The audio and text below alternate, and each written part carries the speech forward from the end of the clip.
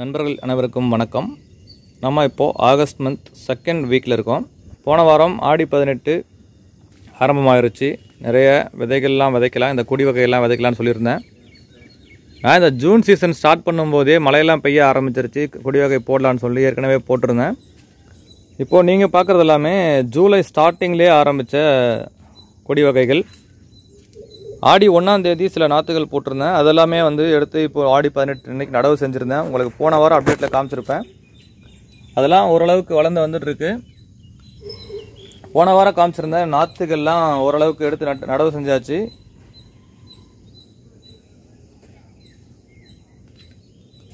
நேற்று நல்ல மழை எல்லாம் சாஞ்சிருக்கு. இதெல்லாமே வந்து சரி பண்ணணும். இது வந்து பார்த்திங்கன்னா உங்களுக்கு கோழி அவரை போட்டிருக்கேன். ப்ளஸ் சிகப்பு இதில் போட்டிருக்கேன். ஒவ்வொரு தொட்டிலும் அஞ்சு அஞ்சு செடி நட்டிருக்கேன் அடுத்த இந்த தொட்டியில் பார்த்தீங்கன்னா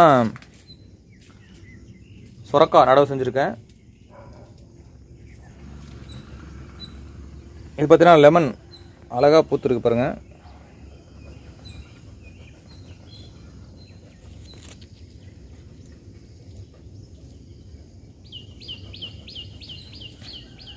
இப்போ மழைக்காலம் ஆரம்பிச்சாச்சு. கொடி வகைகளும் நமக்கு கொடி படர ஆரம்பிச்சாச்சு. இந்த சைடில் இருக்கக்கூடிய நெட்டை சுற்றி மேலே வச்சுட்டு அதில் நெட்டு கட்டணும்.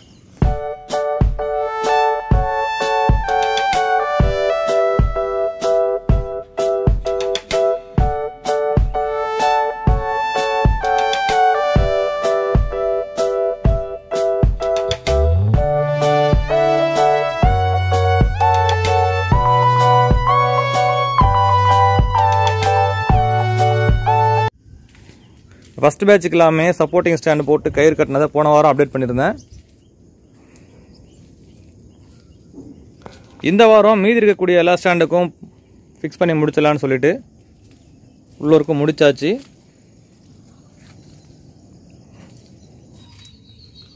இது கத்திரி. ஒவ்வொரு பக்கமும் அஞ்சு அஞ்சு கத்திரி நடவு செஞ்சுருக்கேன். அடுத்ததாக இதில் வெண்டை.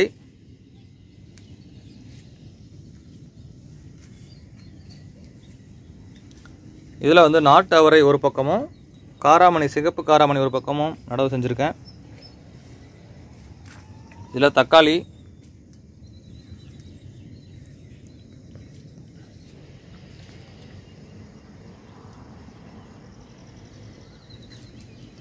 இது கனகாம்பரம். நீங்கள் நிறைய டைம் நம்ம வீடியோவில் பார்த்துருப்பீங்க. அடுத்த இந்த போர்ஷன் கொஞ்சம் சேஞ்ச் பண்ணியிருக்கேன். தொட்டியெல்லாம் போன வாரம் பார்க்கும்போது உங்களுக்கு ஸ்ட்ரைட்டாக இருந்தது. இப்போ எல்லாமே இந்த பக்கம் குறுக்காக மாற்றிருக்கேன் இதுக்காகனா கொஞ்சம் நம்ம தொட்டியெல்லாம் கொஞ்சம் இன்க்ரீஸ் பண்ணணும் இப்போது சீசன் ஸ்டார்ட் ஆனதால நிறைய நாற்றுகள்லாம் ரெடி ஆயிடுச்சு நம்ம இன்னும் கொஞ்சம் இடத்த குறைச்சி நிறைய செடிகள் வைக்கிறதுக்கான வழியை ரெடி பண்ணிகிட்ருக்கேன் இதுலேயும் வண்டை நடவு செஞ்சுருக்கேன். ஒவ்வொரு தொட்டியிலும் ரெண்டு நாற்று வச்சா போதும். கிட்ட கொஞ்சம் நாற்று அதிகமாக இருந்தது. அதனால் ஒவ்வொரு தொட்டிலும் மூணு வச்சுருக்கேன். ஒருவேளை ஏதாச்சும் பாதிப்பு ஏற்பட்டதுன்னா நம்ம அதை எடுத்துகிட்டு ரெண்டு செடியை மட்டும் வளர வச்சுக்கலாம். அப்படி இல்லை அப்படின்னாலும் நல்லா வளர ரெண்டு செடியை விட்டு மீதி ஒரு செடியை மட்டும் கட் பண்ணிடலாம். இது தக்காளி. இதெல்லாம் வந்து ஆரம்பத்தில் தானாக முளைச்ச தக்காளி செடிகள். என்ன மாதிரி தக்காளி வருது எப்படி அறுவடை வருது எதுவுமே தெரியாது. இருந்தாலும் ஒரு அஞ்சு செடி வைத்து நடவு செஞ்சுருக்கேன்.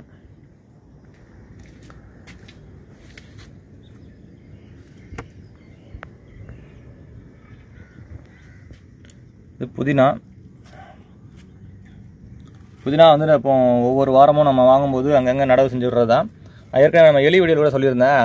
உங்கள் தோட்டத்தில் எங்கே இடம் கிடைக்குதோ அங்கெல்லாம் வந்து புதினா நடவு செய்யுங்க. அந்த புதினா ஸ்மெல் கூட எலி கொஞ்சம் வர்றது கம்மியாகும் அப்படின்னு சொல்லிட்டு ட்ரை பண்ணி பாருங்கள் அடுத்ததாக போன வாரம் காமிச்சதேன் தக்காளி நாற்றுக்கள்லாம் தொட்டிலிருந்து பிடுங்கி இந்த சிமெண்ட் தொட்டை நட்டுருக்கேன்னு சொல்லி போன வாரம் நடவு செஞ்சுருந்தேன். போன வாரம் வீடியோவில் காமிச்சிருந்தேன். ரொம்ப சின்ன சின்னதாக இருந்தது. இந்த வாரம் ஓரளவுக்கு நல்லா வளர்ந்துருக்கு. இது முடக்கத்தான். நம்ம தொட்டிகளில் அங்கங்கே முளைக்கும். ஸோ முடக்கத்தான் மூட்டு வலிக்கு ரொம்ப நல்லது. இது எல்லாமே மணத்தக்காளி. ஸோ நம் நம்ம தொட்டியில் நிறைய மணத்தக்காளி முளைச்சிருந்தது போன வாரம். அது எல்லாமே பறித்து சமைச்சாச்சு. இருக்கிறதுல ஒரு அஞ்சு தொட்டி நம்ம நடவு செஞ்சு வைப்போம்னு சொல்லிட்டு நடவு செஞ்சுருக்கேன். எப்படி ஏற்கனவே நீங்கள் பார்த்தது தான் இதெல்லாமே மஞ்சள் ரொம்ப அருமையாக போய் க்ரீன் ஷெட் தொடுற அளவுக்கு வந்திருக்கு. இந்த மஞ்சளுக்கு நமக்கு பராமரிப்பே இல்லை. ஆனால் என்னென்னா ஒரு வருஷம் எடுக்கும் வளர்கிறதுக்கு ரொம்ப சுலபமாக வளரக்கூடிய ஒரு தாவரம்னா நம்ம இந்த மஞ்சளை கூட சொல்லலாம். இதுக்கு சத்துக்கள் மட்டும் கொடுத்தா போதும். ரொம்ப சூப்பராகவே வரும். அறுவடை போன வருஷம் ஒரு கவரில் மட்டும் போட்டு எடுத்தேன் இந்த வருஷம் ஒரு ஏழு கவர் போட்டிருக்கேன். ஸோ இது வளர்க்குறது ரொம்ப ரொம்ப சுலபம். ஒன்ஸ் நீங்கள் அதை முளைச்சி வந்த மஞ்சளை கொண்டு வந்து நடவு செஞ்சுட்டா போதும். அது ரொம்ப செழிப்பாக வரும். தோட்டத்தில் பார்க்குறதுக்கும் ரொம்ப பசுமையாக இருக்கும் பார்க்குறதுக்கு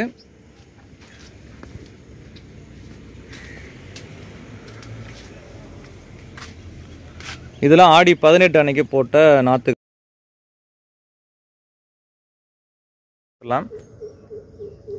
கத்திரிலாம் ரொம்ப அழகாக பூ பூத்துட்ருக்கு ஏன்னா பூச்சி தாக்குதல்களும் நிறைய வரும். அதனால் நம்ம தொடர்ந்து தோட்டத்தை கவனிச்சுட்டே இருக்கணும். இது செடி அவரை.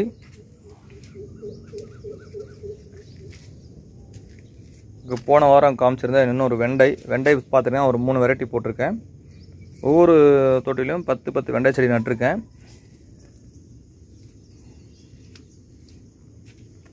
இது பாருங்கள் அழகாக பிஞ்சு வைக்க ஆரம்பிச்சாச்சு.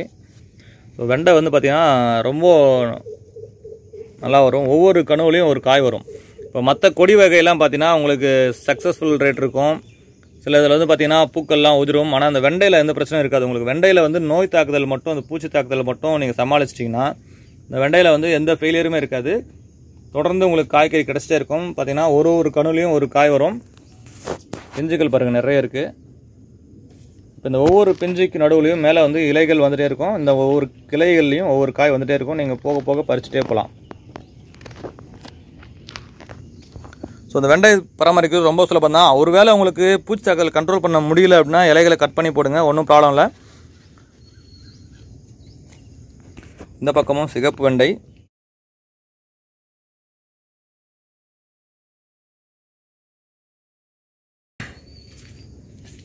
சரி நம்ம தோட்டத்தோட பின்பகுதியில் என்ன இருக்குன்னு பார்ப்போம். இதில் செடி அவரை நடவு செஞ்சுருக்கேன் சிமெண்ட் தொட்டியில். பார்த்திங்கன்னா நித்தியமல்லி. ரொம்ப சூப்பராக பூ வந்துட்டுருக்கு. நித்தியமல்லியெல்லாம் எப்படி பராமரிக்கிறது அப்படிங்கிற ஒரு வீடியோ கொடுத்துருக்கேன். பாருங்கள்